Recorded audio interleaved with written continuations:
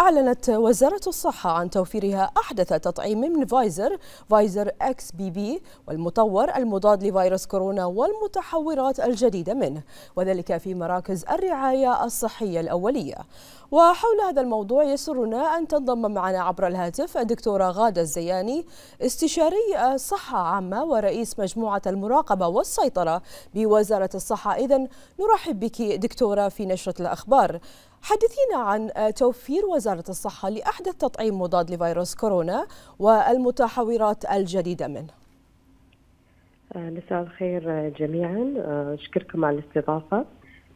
طبعا بالنسبة للتطعيم المتطور الجديد هو قامت وزارة الصحة بتوفير هذا التطعيم التي تنتجه شركة فايزر بالفيروس كورونا وهو فايزر XBB 1.5 ويعد هذا التطعيم طبعا هو الأحدث حاليا ضد فيروس كورونا ومتحوراته. وبهذا تصبح مملكة البحرين من أوائل الدول في العالم في إدخال هذا التطعيم. وحيث يتم توفير التطعيم إن شاء الله للراغبين في تلقيه من المواطنين والمقيمين خصوصا للفئات الأكثر عرضة للإصابة بالمرض ومضاعفاته مثل كبار السن المصابين بالأمراض المزمنة الفئات الأخرى ذات الأولوية واللي بتحددها وزارة الصحة.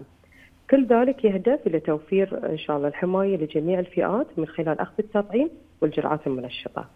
نعم دكتورة أين يتوفر التطعيم وما هي أهم الإرشادات الصحية التي توجهونها بهذا الشأن خصوصا للفئات الأكثر عرضة للخطر؟ إي نعم.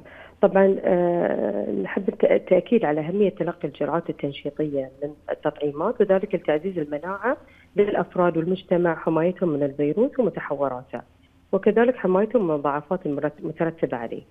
أه تدعو الوزارة الصحه المواطنين مقيمي مملكة البحرين خاصة الفئات الأكثر عرضة للخطر المبادره بتلقي الجرعات المنشطة من تطعيم فايزر ال XBB 1.5 المضاد فيروس كورونا والمتحورات الجديدة. آه بالنسبة للفئات المستهدفة لأخذ التطعيم هي الفئات الأكثر عرضة لخطر الإصابة بمضاعفات فيروس كورونا. هم طبعا البالغين من العمر 50 عام فما فوق.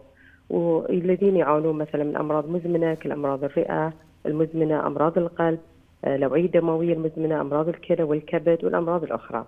بما في ذلك مثلا السكري الأمراض العصبية. بالنسبة إلى الفئات المستهدفة من البالغين من العمر من 18 إلى 49 سنة هم اللي يعانون من أمراض مزمنة أو السمنة المفرطة. كذلك عندنا بالنسبة لفئة الأطفال من عمر خمس سنوات فما فوق هم الذين يعانون من قصور المناعة.